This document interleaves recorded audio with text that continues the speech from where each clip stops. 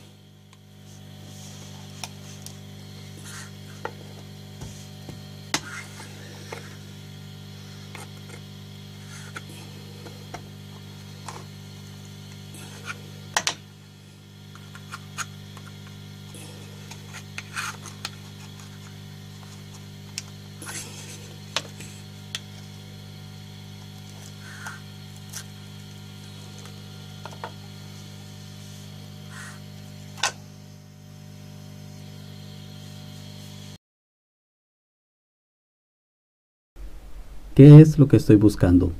Busco marcas de agua.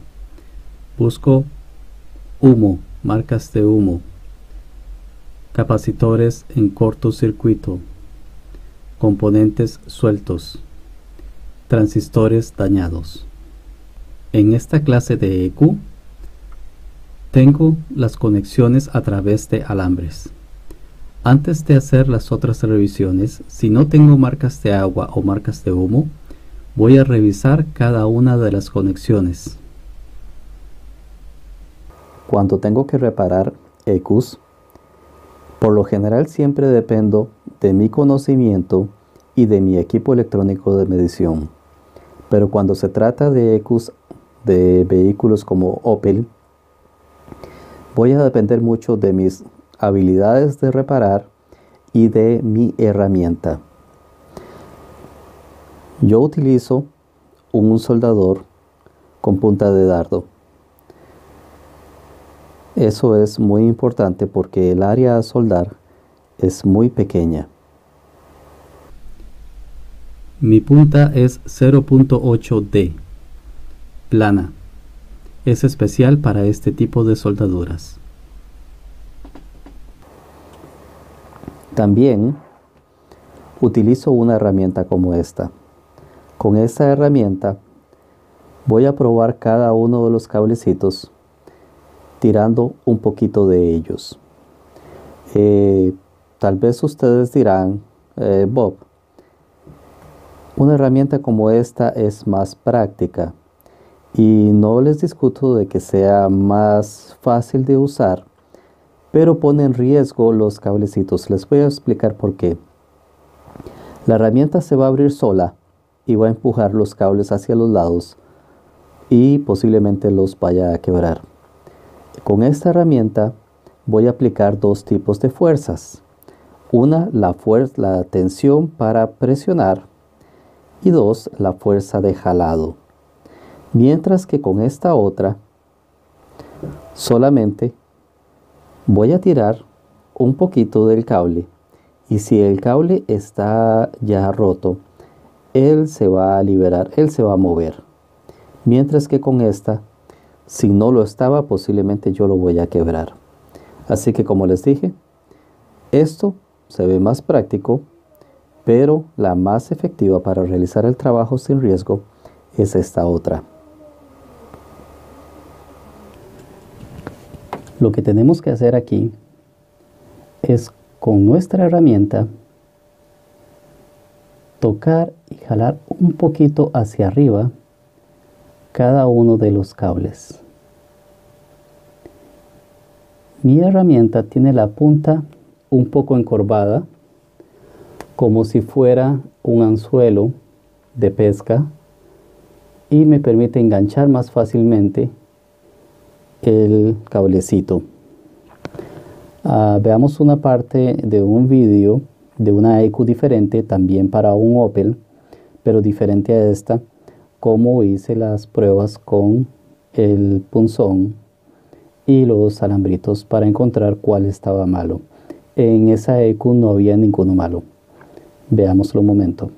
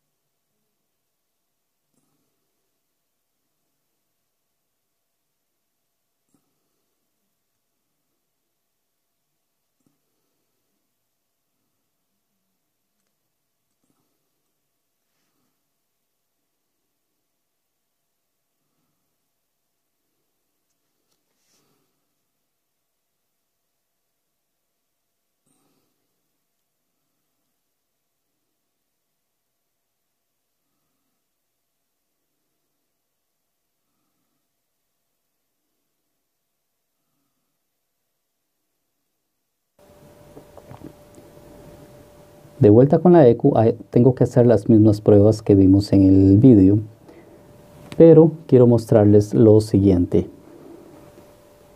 Si ponemos un poquitito de atención, en esta parte nos vamos a encontrar que hay un transistor. Este alambre que está aquí torcido, pequeñito en su pantalla, es el alambre de una posible base o gate de un transistor y está fuera de su lugar. Este punto que señalo aquí es donde debería de estar soldado. No lo está, está abierto. Posiblemente este es mi daño. Tengo que hacer una inspección mayor para asegurarme de lo que estoy haciendo.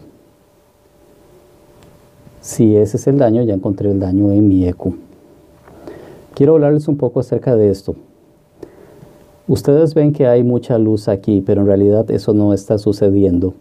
Es bastante oscuro, inclusive para mí es un poco difícil trabajar así. La cámara es sensitiva a la luz. Veamos cómo trabajo yo, con qué intensidad de luz.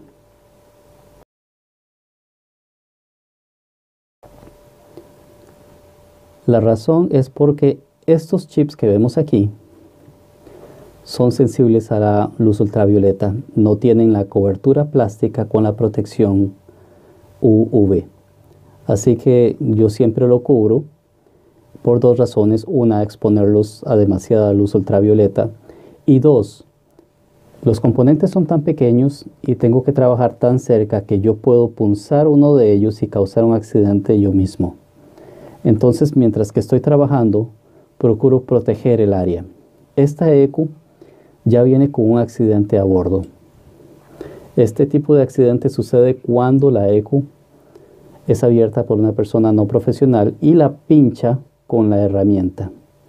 Eh, posiblemente, si tiene reparación, no le puedo dar una garantía al cliente por lo que ha sucedido aquí.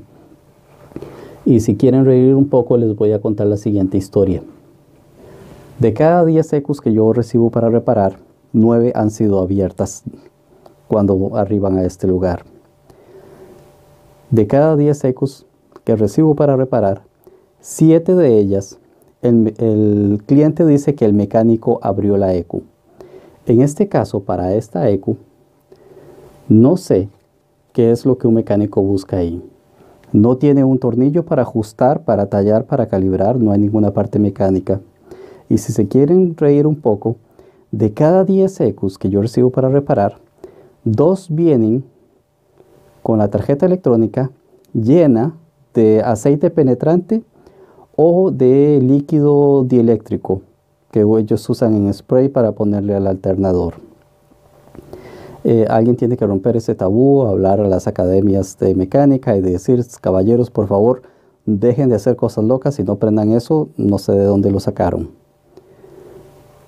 Así que ya saben, protejan la ECU, esta clase de ECU, eviten las punzuras eh, cuando están trabajando. La mejor manera es utilizar un cobertor y lo van moviendo a medida que van haciendo las pruebas. Así no se arriesgan a causar un accidente ustedes mismos. Y en muchos de estas ECUs, en este tipo de modelos, gran cantidad de los problemas se va a reflejar directamente sobre este tipo de tecnología de alambre que ellos utilizan en mi opinión, como ingeniero, como experto y como persona que vivo de eso, es bastante malo, pero gracias al cielo que lo usan porque siempre me causan clientes. Ahora el conocimiento está con ustedes, saben un poquito más acerca de las reparaciones de ECU y qué hacer con los modelos de Opel. Son difíciles e incómodas por este tipo de alambres, pero créanmelo, en este tipo de ECUs la mayor parte de los problemas que siempre encuentro está relacionada con los alambres de este tipo. Y como les dije, la mejor herramienta para hacerlo es esta. Aunque esta parezca más cómoda, háganlo con esta y verán que sí pueden encontrar los problemas fáciles y pueden solucionarlos.